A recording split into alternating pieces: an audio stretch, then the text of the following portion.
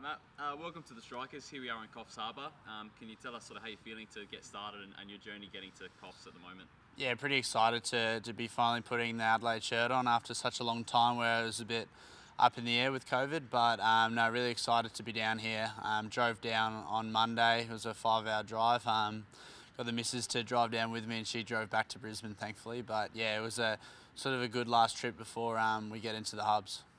Can you tell us a bit, um, bit about the process moving to the Strikers? Um, is, is it a change of scenery or the lure of Dizzy or Adelaide Oval, or what, what was it? Uh, a little bit of everything, really. Um, coming at the end of last year, got an offer and yeah, had a couple of chats with a few guys at Adelaide and, and around the country. Um, but yeah, really excited to be joining Adelaide. I think Adelaide Oval is one of the grounds that is, is most fond for me. I made my test debut there and and always seem to, to enjoy playing there. So um, that was a big draw card in, in moving to the Strikers.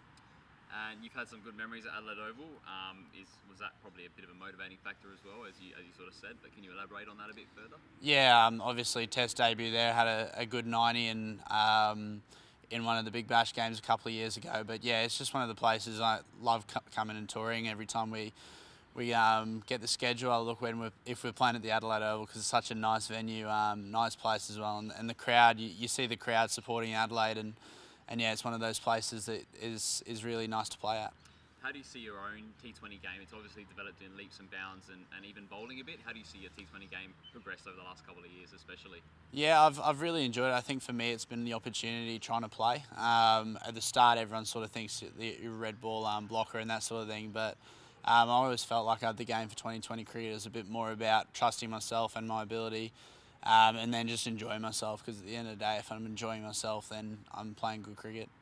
How do you see your role in this team? Have you had any specific talks with Dizzy yet, or where do you expect to bat in the order, or anything like that at this stage? Um, a little bit here and there. I think obviously we're we're missing Hetty and Kez at the moment. Uh, that's probably big on me to try and stand up and put a few performances on while we're, we don't have them. But yeah, I think just trying to win games for the team, whatever that's needed, um, that's the most important thing for me and trying to trying to win the Big Bash.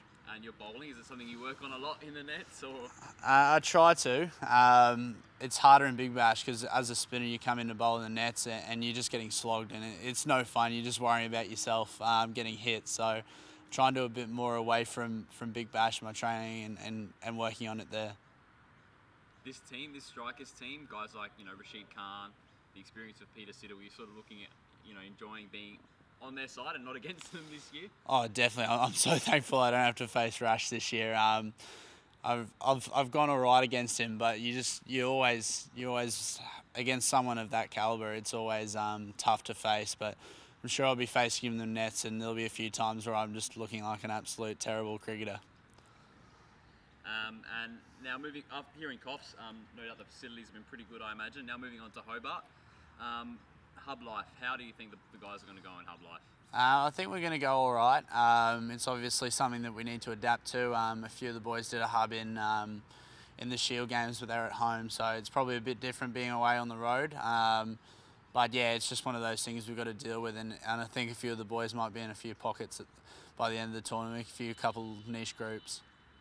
And uh, last weekend you actually batted on the same side as Linny and he bombed a few sixes. Um, is there any banter there or any spice now now playing against each other? Him at the Heat, you at the Strikers. Yeah, well, I opened. He was batting three. He walked out to bat and said I said I was going to run him out twice for two, for two diamond ducks in the day. Um, fair to say, next ball when I went for a quick single, he, he turned me down very quickly. Um, but no, it's there's a few little banter um, with the Heat boys in the last couple of weeks, but no, I'm just excited to be with Adelaide guys and, and, and playing with a few really good cricketers.